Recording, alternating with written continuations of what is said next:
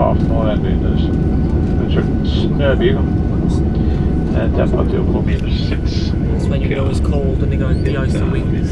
Syda på. De-ice the wings before takeoff. Jag kommer säga strax med uppdatering till oss. You buffoon.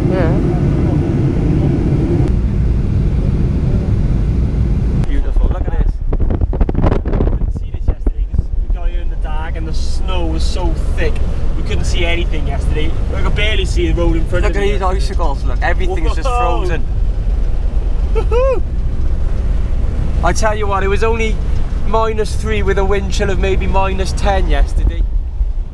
But I can assure you it was freezing. There you go, they're ploughing the tarmac again. Mate, I tell you what, that's that's wider than it looked That is yesterday in the dark. wide, bro. Oh Holy no, mate, that was wide. man. Bit of a brain tracer moment. We didn't want to end up in that field. Look, that looks like a lovely mag, eh, mate, off them rocks. Frozen to hell though. There comes the snow again. Oh my god, he just bit his boot. Do not want to get your finger in there. I'm gonna give up trying to pick this guy up. He just bit my boot. Welcome to Bodo. First trip of the session. I don't know how big it is. Quite a big fish, I think, though. I think it's probably about six pounds, five pounds. Welcome to Bodo. Hopefully the first of many. Let's get this one back and let's keep fishing. Let's Just have a quick look Lovely at his teeth. good teeth. run on this fish. Lovely. Look at the teeth on that thing. I don't know The whether you can teeth see are it. crazy. Anyway, He's bleeding. Let's get him back. I don't want it to Welcome latch to onto my finger. Got to give him a bit of a throw from here, I think. Ready? Hoppa! There he is. First raw fish, first pieces of the trip.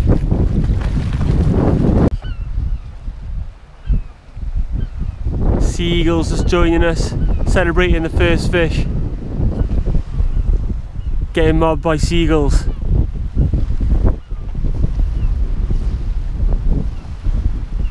Amazing.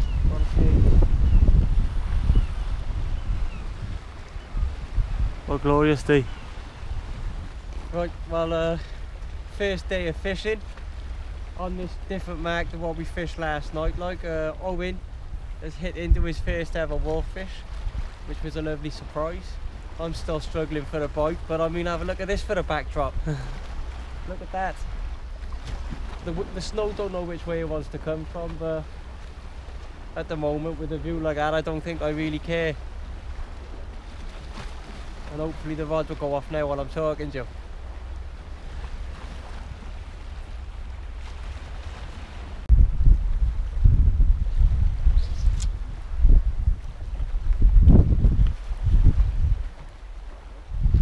Here we are, first cast this evening for Owen and in less than five minutes. Didn't even get my second rod out, just had it on. Now, today we've had a slow, slow day. Now to come here, first cast, this is what we come to flipping Norway for, man. That's gotta be a double figure cod right there. Look at that! Well done, son. Look at Very that nice. sunshine! Good gaffing, brother. Oh, have a look at that for the gaff. You look What like I swam in the sea and gaffed it out myself. What a fish. Thank you, Bodo. Well done, son. Right. Well done, son. Cheers. Right then. Hopefully we'll have some more because I still can't get a bite. Here we go. Did it this fat? Look at that. To- I've managed to get in on a bit of action after uh, after struggling. Watching Owen catch a load of fish. Hopefully you just relax for two minutes so we can show you the, the size of it. I see it's pushing ten pound. Oh yeah, that's a ten pound. Nice big head on him. It's about it's long it's fatter than mine, but not quite as long I wouldn't say. Can do. Curl, can curl that tail.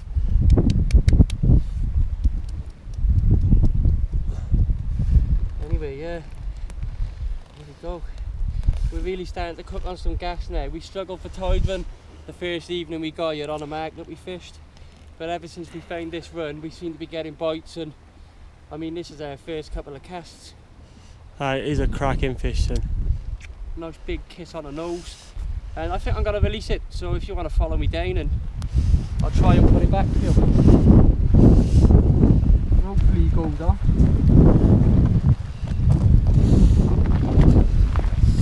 As you can see, studs are a must here. It has been blizzard and blowing. What's that? Yeah, ratchets are on. Hang on. Hang on.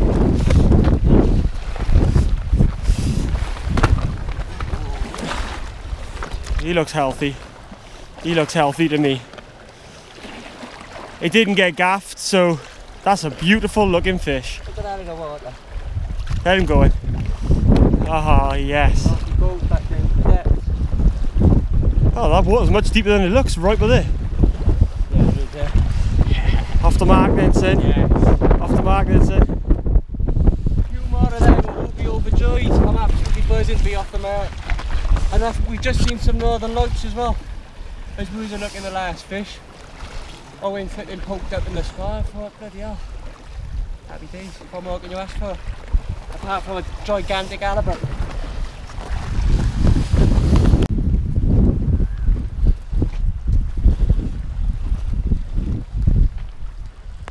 Any weight there, Tom? Yeah. Uh-huh. Yeah? Little knock. Alright. Gonna put the camera down. Oh yeah, a bit of wind. yes, sir. Radio. Nice. Here we are, look everybody. I've just managed to land myself my first coalfish of the trip. Didn't get this one on the spinner, sadly. This came on some bait, obviously, it's dag.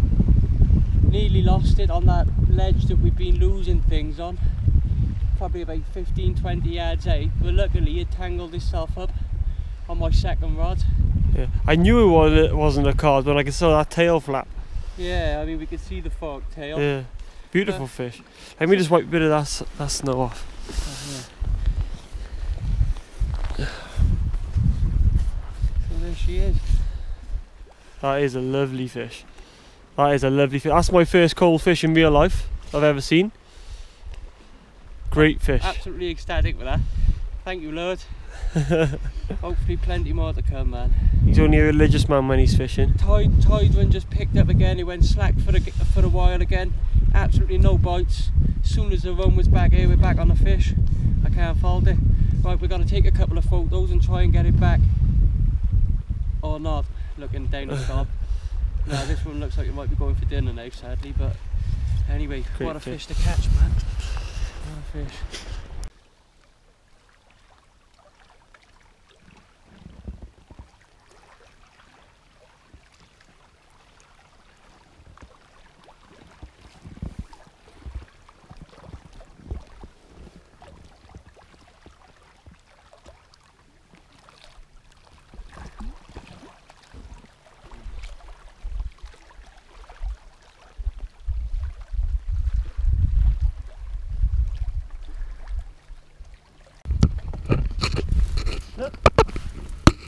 a fish. Oh days, brother, that could be a bet.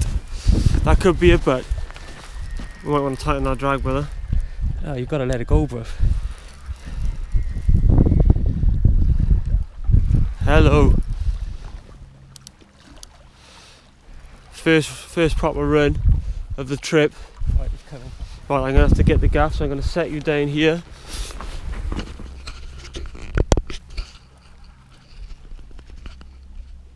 Hopefully you can see what's going on. Doesn't look like you can though. Coming quite easily, mate. Yeah, had a nice little run at the start. Nice little run at the start. Just be careful because there could be a ledge. in the tip or not? Could be. It could have. It could be a ledge here. We don't know. So Yeah, we have got we're fishing bottom bottoms anyway.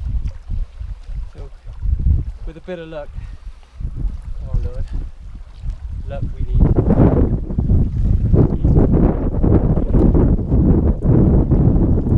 Oh, was it wrapped up?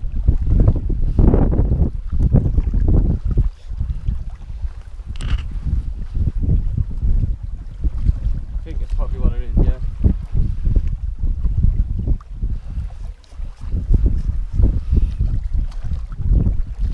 How's it feeling? Yeah, it feels A Bit nerve wracking? Get that fish up. I'm worried about my rod. steep here. See if we can see a bit of colour. Definitely all o- over my other line as well. Yeah.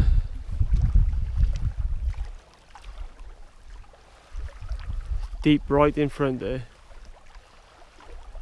Dig in, dig in.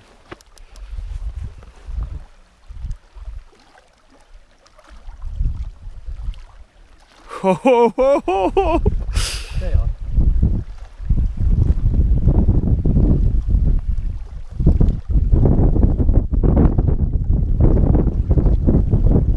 Have to get.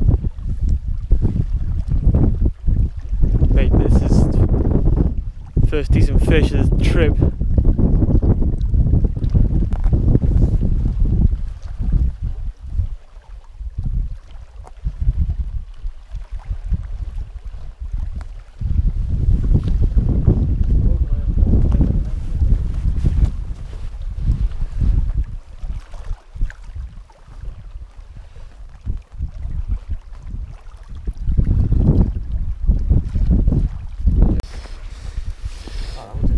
Oh, hello.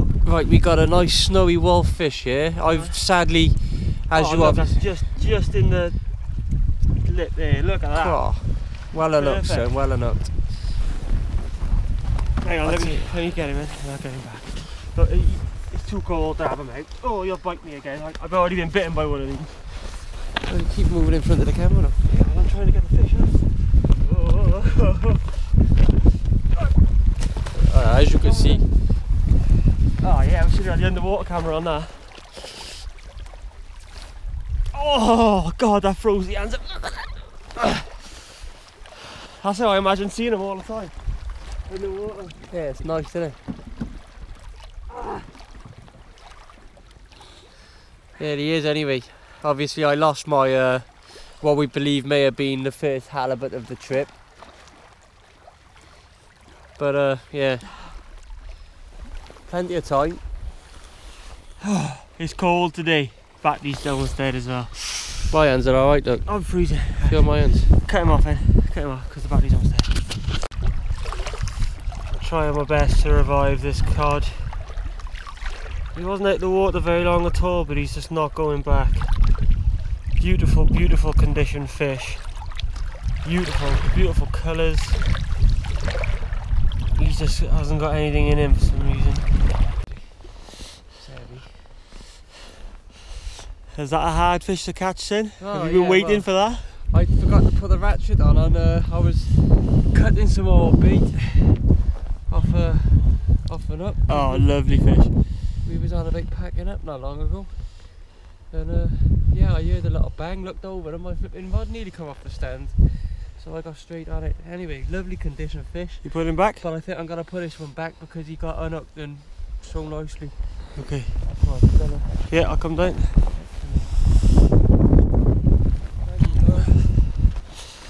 They're gonna think you're a very religious man, you know. They're gonna think you're a religious man. Uh, I fish religiously. Right, let me get down like this.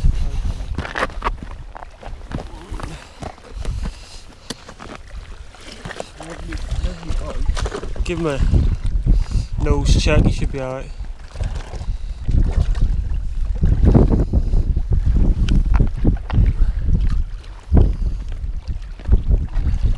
And out of the water up, man. Lovely. He's just about ready to go. Oh yeah. Oop. What bit of current there, son? Bit of current burn. Son, get down there.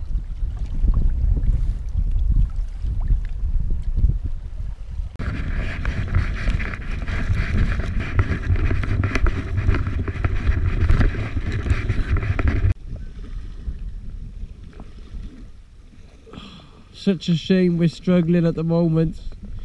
First time fishing this mark since we've arrived. Wonderful day, but it could be better. All we need is some fish. There he is. FB2.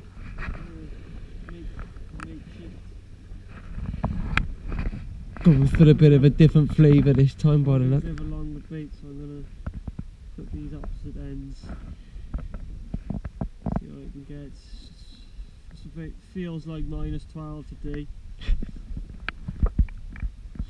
I'm not too sure what the temperature is. It's minus 4 when we left the camp. It's like fishing down Barry. Yeah. Loads colder yeah only in January, look. and so far less fish.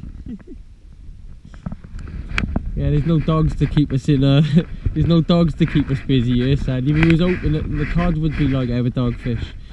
But anyway, have a look at that for a view. I don't know whether you can see it on the GoPro, but just across from us here, there's a a little inlet which leads into the salt stream. And so yeah, I got it, brother. I got it.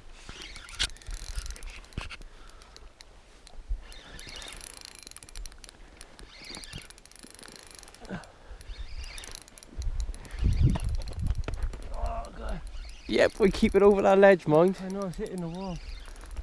Right, I'm gonna go down there now in a minute, right? The only thing is, it's only fish. There's no lead trailer there.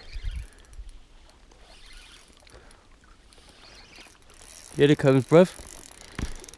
Whoa, whoa, whoa! It's on the ledge. Let it swim away. Yeah, come down the bottom and let it swim. Don't pull our line into the reef.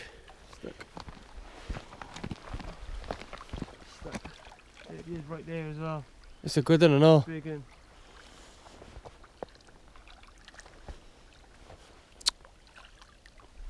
Yeah, get down on the bottom, see if you can, you know, undo it slightly or whatever.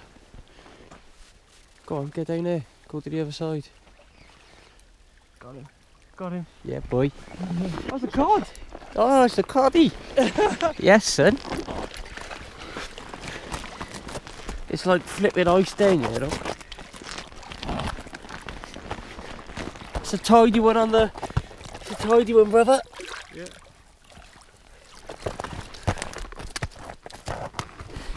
Yeah, boy. Watch you don't slip. That's not no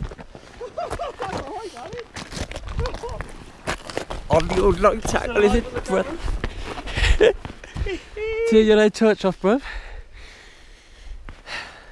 We have been struggling all day. We've been fishing here since the early hours.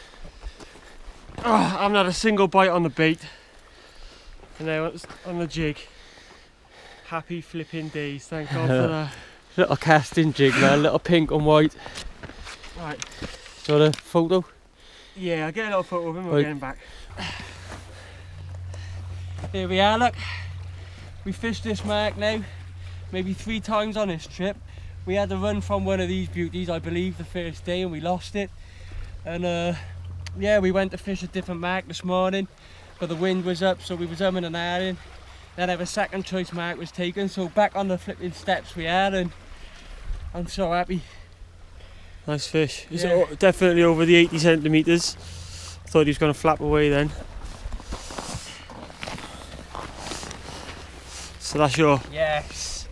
My Le- target is achieved. illegal fish. Happy days. Would you say that's 80? Should we measure it? Oh, definitely over 80. Happy days. I'm sorry that we haven't got the action on camera, but it's so difficult with GoPros dying. See, we, we could actually add it to the end of the one that we lost, couldn't we?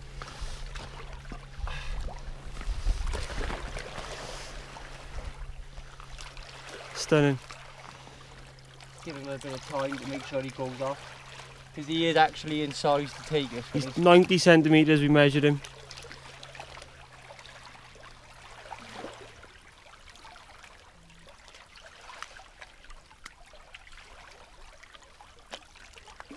Yeah, he's got the feeling tension a bit. I don't want to let him go, look, because it's a waste. We keep him otherwise. Look at that for the tail, look. For the paddle. That's where that power comes, that's where those runs come from. Yeah, just talk us through the run then, Tom, how, how it went. Well, I mean,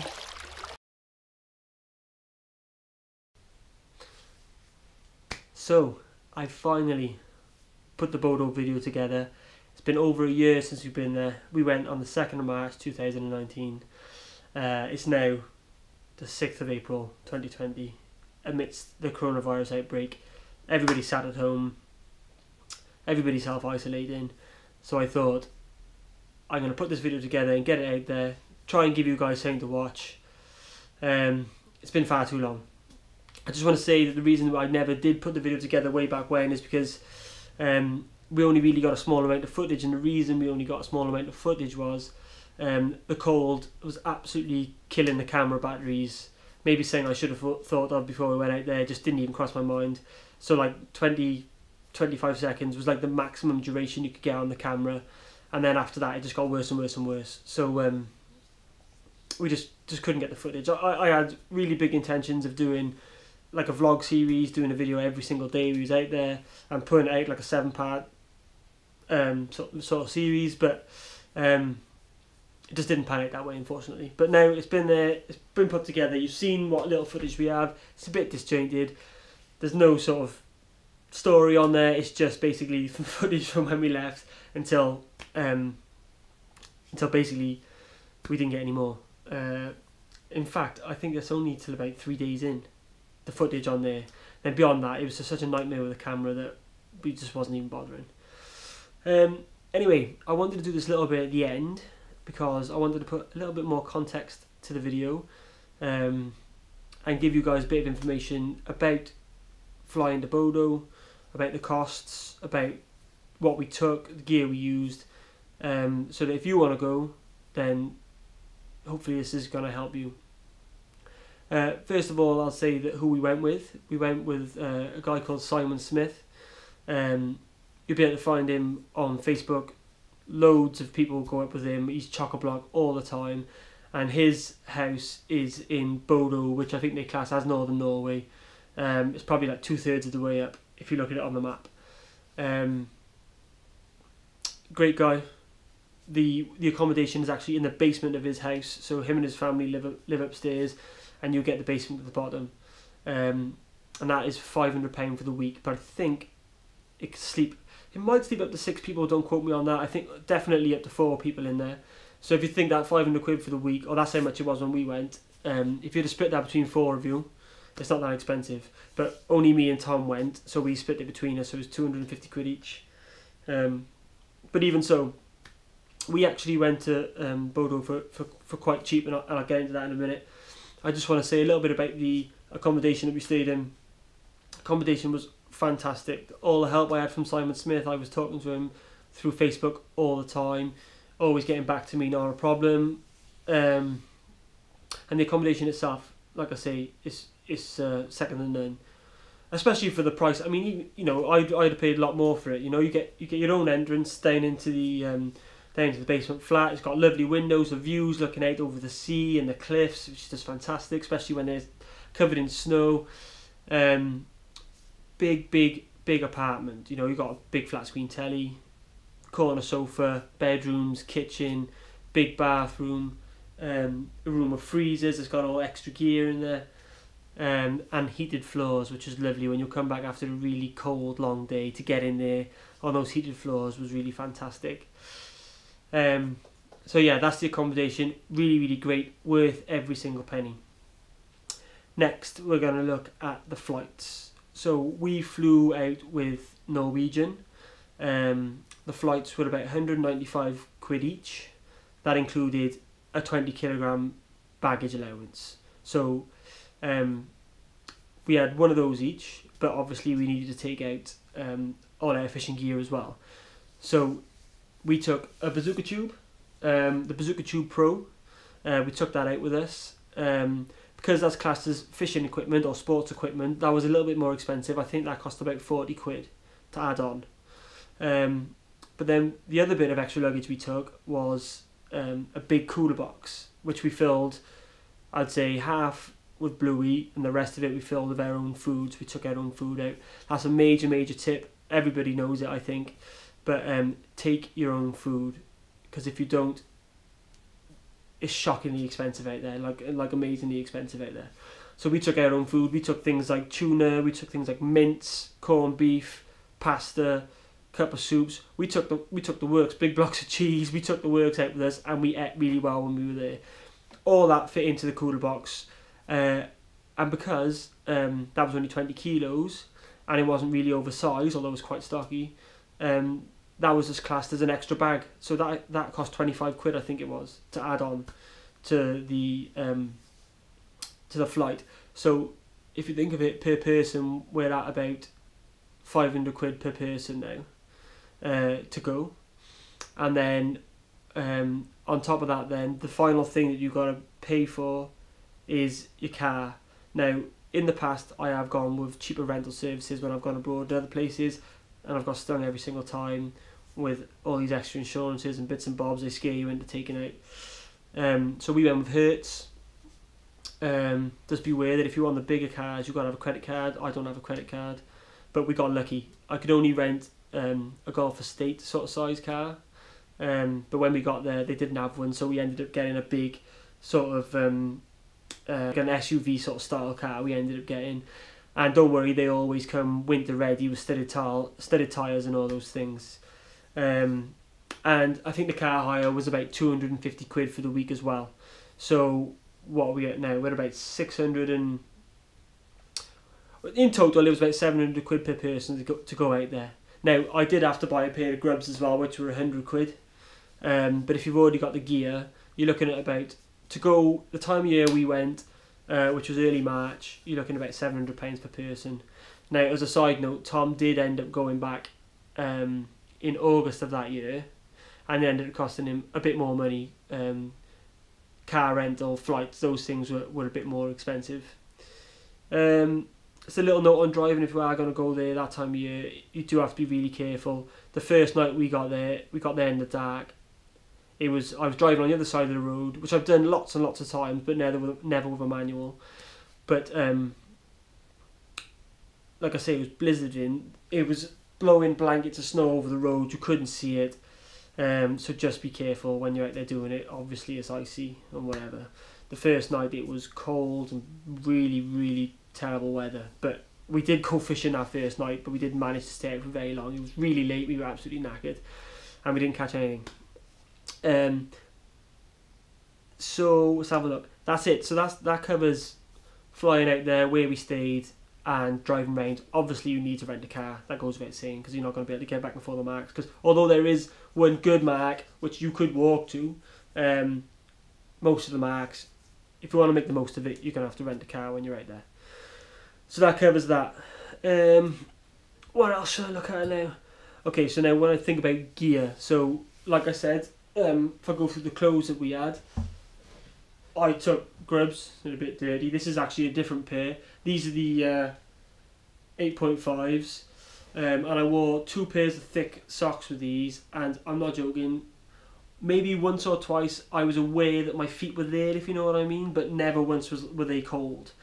So they were worth every single penny. Tom actually bought the um, Bogs Bozeman's, which actually rated down to colder than this, and he, he loved those as well. Um, this is a different pair to the pair I took. The ones I took were studded, or I added the studs.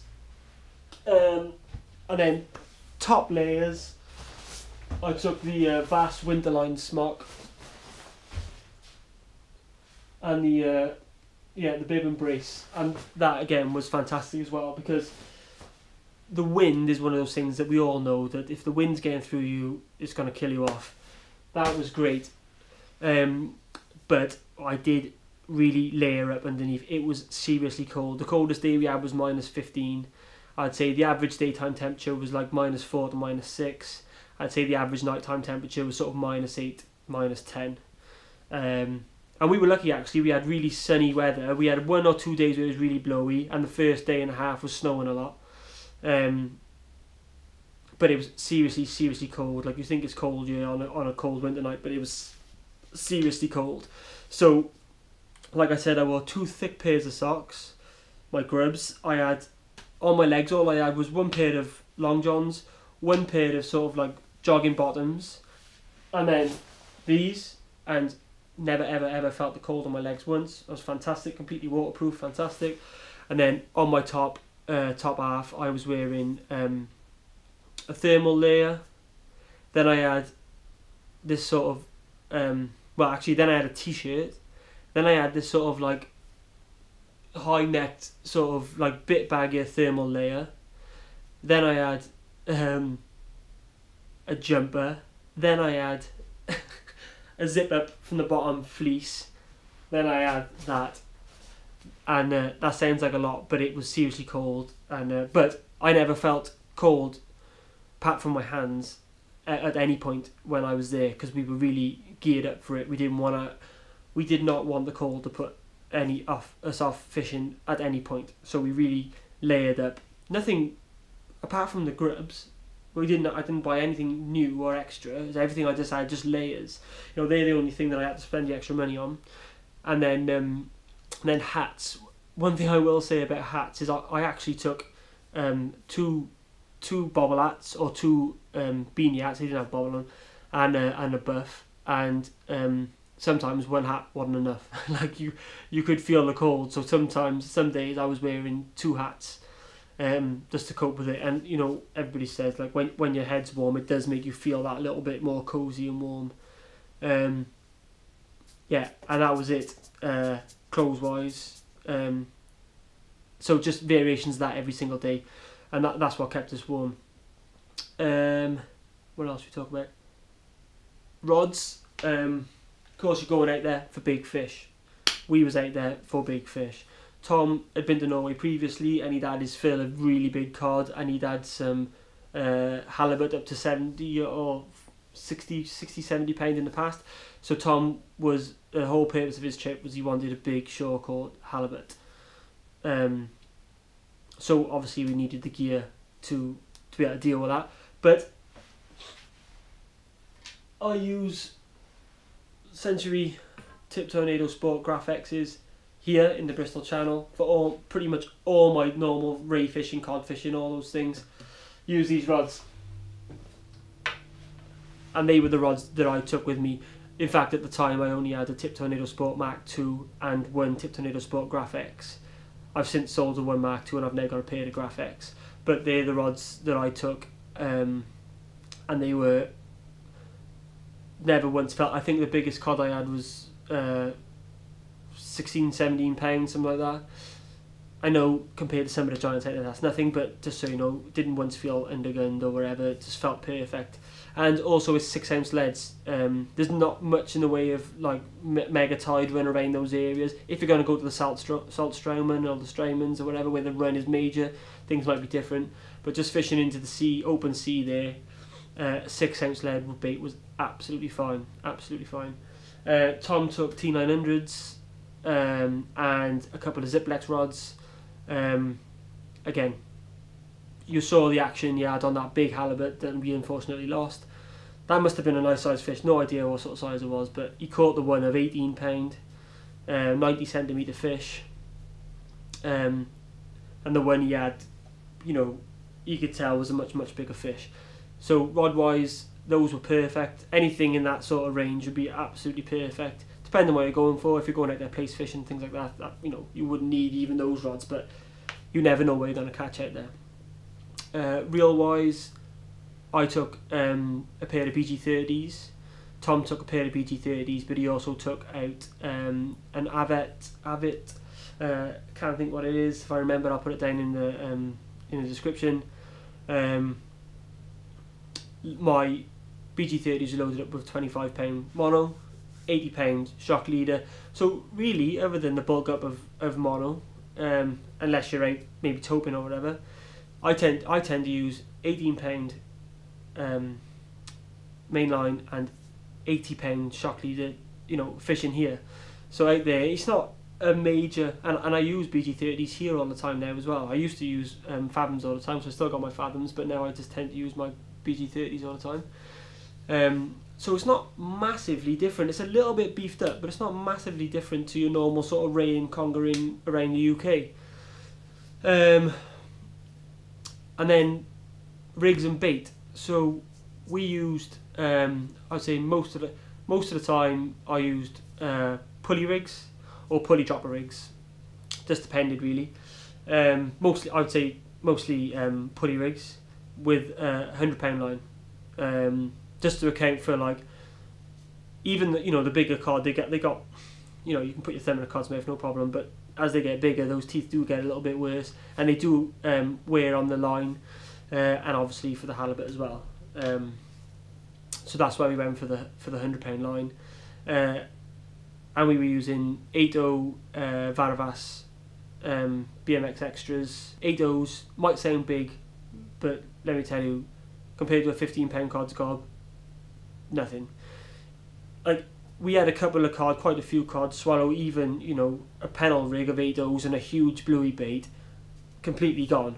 So if we if we used to use four or five O's I'd imagine we'd come across that issue a lot more regularly than we did. So um, and we were out there for big fish so we, we didn't we wasn't interested in using the smaller hooks anyway. Um, I know a lot of people use the catfish hooks and whatever but you do need a big strong hook and they did the job perfectly. Um, and that they were the rigs that we used all the time like I say. And bait wise most of the baits we used was bluey. We also used herring.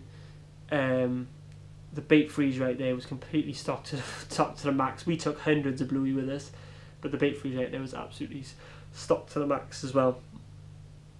Um, what else can I say? Uh, I think that's it but if you do have any questions about going out there, uh, drop them in the comments below. I'll get back to you as much as I can, or you can DM me on um, me or Tom on our Instagram. That's uh, at Fishing Brothers Wales, and you can also go back and see a few of the catches that we had when we was out there. I definitely, definitely, definitely want to go back there. It was uh, a fantastic trip. I mean, fishing aside, without the fishing, just going to Norway, seeing all that frozen wilderness was just spectacular in itself. But to get out there and do the thing that we love to do most was, and to do it every, basically every single night under the Northern Lights, uh, it was really really spectacular. And there's never a dull moment. Every time you bait's in the water, you're just expecting something major, major to happen, and on a couple of occasions it did.